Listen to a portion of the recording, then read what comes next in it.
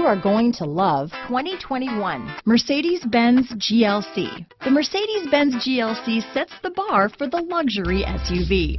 A midsize SUV that's all lean muscle and has a roomy new cabin full of style and substance. Here are some of this vehicle's great options.